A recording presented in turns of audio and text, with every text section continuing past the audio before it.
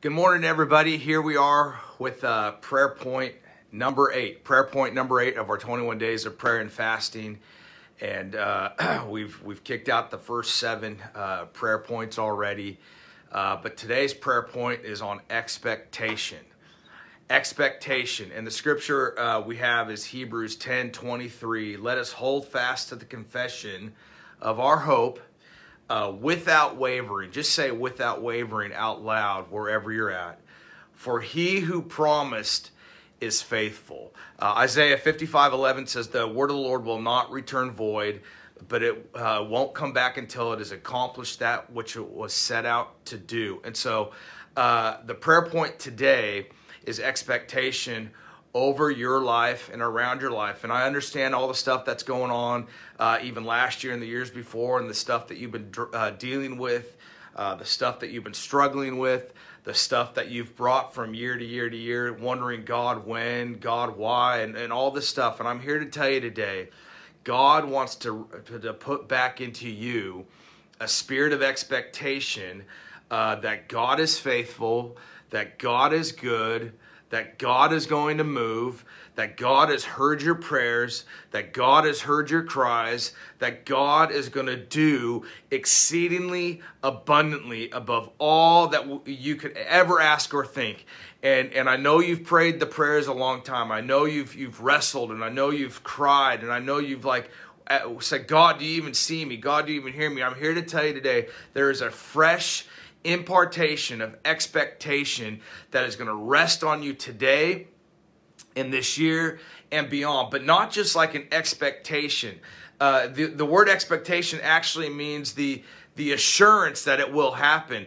And so there's going to be a fresh uh, uh, impartation that is resting on you today of assurance that His word, His promises will and are coming to pass. Uh, not just for today or this month or, or this week, but for the remainder of your life. The prayers of healing, the prayers of, of, of relationships, the prayers of finance, like whatever the prayers are that you've been praying, that there's an expectation that is going to rest on you in such a way that you will not be uh, shaken, you will not be moved, you will not waver to the left or to the right, but there's this expectation that's going to rest on you again because your hope isn't in the things going on around you. Your hope is in Jesus. Your hope is in the cross. Your hope is in the fact that if God spoke it, He is faithful and just to do it and to fulfill it. And so I just want to pray over you real quickly this morning as we as we spend our, our, our day today uh, praying for expectation that God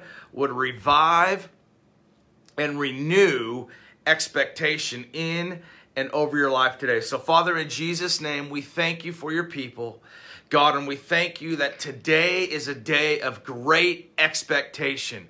Today is a day of great hope. Today is a day of, of great assurance that you are faithful and you will do what you've said and what you promised. And Father, for the people that have wavered, for the people that have wondered, for the people that have asked questions, or, the, or for the people that have just said to themselves, well, it is how it's going to be. God, I pray that today there would be a, a renewing and a reviving of expectation that would rest on them today. God, that they wouldn't waver from your word. They wouldn't waver from your promises. They would, they would remember remember the prophetic words that have been spoken over their lives, God, that they would grab hold of it and they would begin to run with it, God, that expectation would arise, that hope would arise. God, their hope isn't in the in the stuff happening around them, but God, their hope is firmly planted on Christ the solid rock. And God, as everything else is sinking, as everything else is drifting around them, God, you're the rock. You're the foundation that doesn't move. And so, Father, we just speak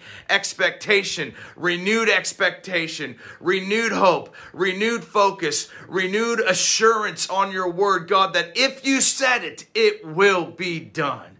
And so, Father, today we just give you praise. We give you glory. And Father, we focus on the fact that you are faithful.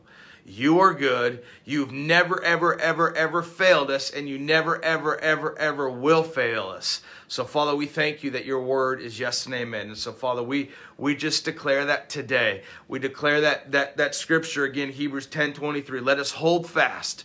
Don't let go to the confession of our hope without favoring. Father, we thank you that th- these people, your body, your church is not a wavering people, but God, we are standing firm people. We are a people that aren't going to draw back, but we're going to push forward. It doesn't matter what, what the noise is around us, but God, we are a people that will not waver, that will not be shaken, because what you have promised, you are faithful to do. So, Father, we just give you praise. We give you glory today.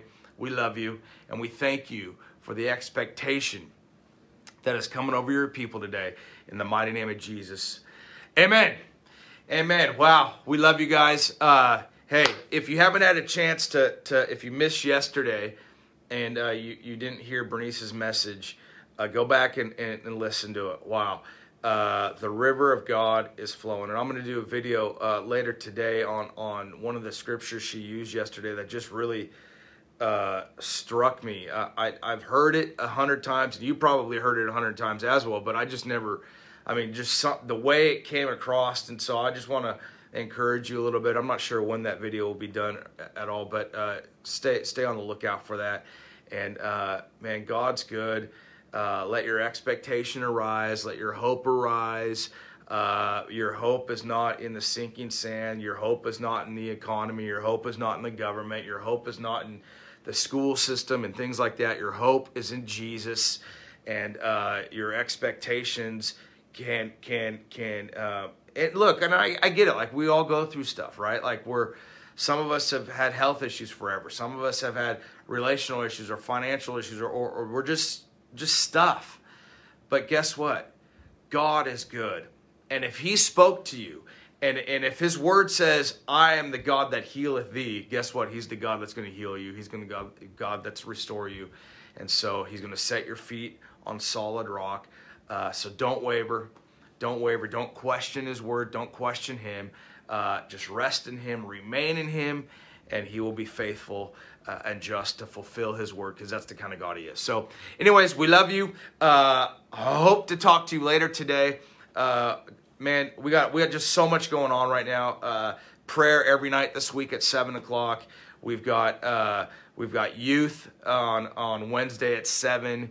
Uh, ladies ministry kicks back off tomorrow night at 6.30 uh, new life tomorrow night at 6.30 uh, just a lot going on so small groups are up and running so if you want to know a, a, group where a group is for you to get involved in and you get it plugged in in uh, go to the website ignitefaithchurch.org and uh, click on the small groups link there uh, under ministry, I think it is, and uh, and you'll be able to find a small group leader to reach out to, to connect to, and begin to do community and life together. So, anyways, we love you guys. Uh, have a great Monday.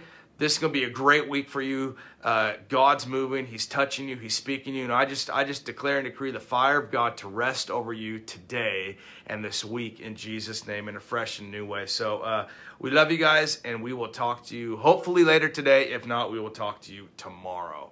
Have a great day. Bye.